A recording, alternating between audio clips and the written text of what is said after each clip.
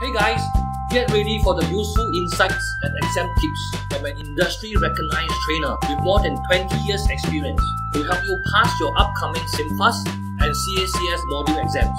You are listening to Khinloke from cmfas-exam.com.sg.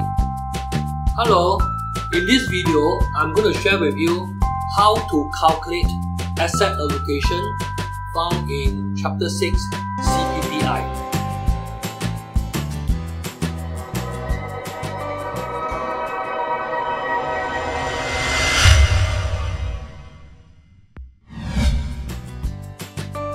This example shows that you are being given the crash size and the cushion value of four funds A, B, C, and D.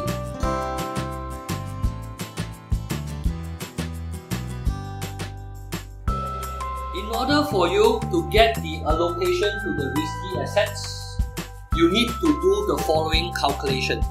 You can see from the calculations, Fund A has got 125% and Fund B has got only 80%. Therefore, answer to this question is.